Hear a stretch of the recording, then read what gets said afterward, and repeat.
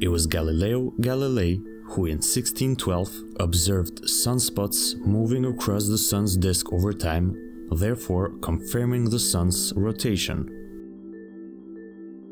Sunspots occur where the sun's plasma interacts with its magnetic field and can lead to solar flares and other types of solar storms. So the sun does rotate, but because it's a gas, it doesn't spin all at the same rate.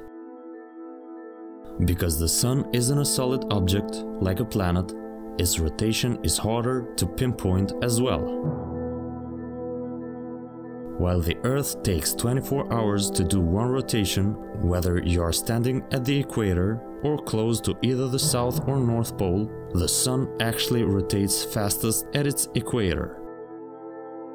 On the Sun's equator, any point takes 24 days to rotate completely around the star, while the poles take more than 30 days.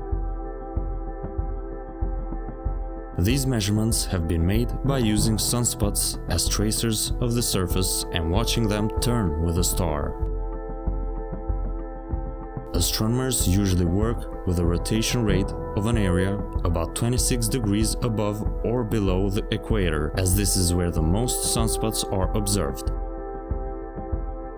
At this latitude, one complete rotation takes just over 27 days, and this is known as a Carrington rotation. The inner parts of the Sun also spin faster than the outer layers,